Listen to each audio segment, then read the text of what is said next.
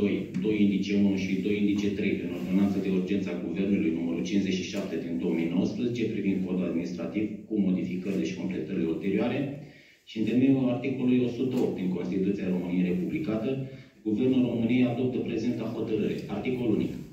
Domnul Cornilă Sorin se numește în funcția de prefect al județului Botoșan. Semnează prim-ministru Nicolae Melciucă, contrasemnează ministrul afacerilor interne Lucian Nicolae Bode.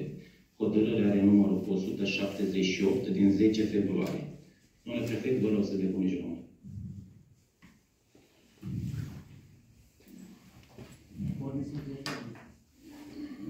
Eu, eu, Cornelă Sorin, numit în funcție de prefect al județului Botoșan, prin hotărârea Guvernului numărul 178 pe 2002, depun următorul jurământ în conformitate cu dispozițiile articolului 251 aliniatul 3 din Ordonanța de Urgență a Guvernului numărul 57 pe 2019 privind codul administrativ cu modificările și completările ulterioare.